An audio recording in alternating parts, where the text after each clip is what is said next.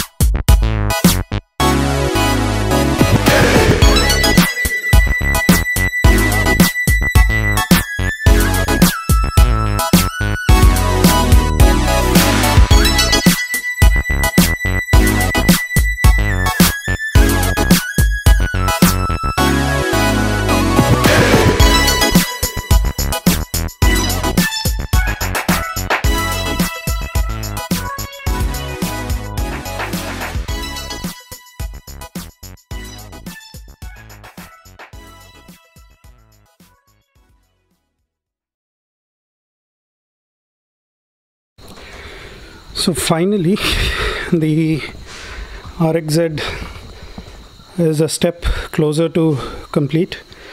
Um, this brake pedal really did kick my ass.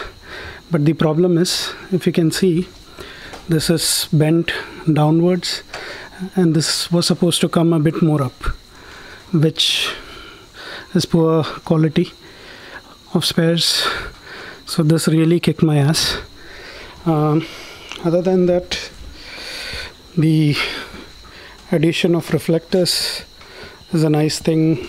The front mud flap is nice. Another now there are two things pending.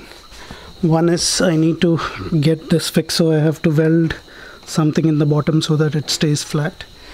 Uh, the next thing is there is a bracket that comes here which will stop from that happening. And that bracket I actually have that bracket somewhere here um, which I need to search. So that's about it. I hope you guys did enjoy this video. If you did please like share and subscribe. And catch you in the next video.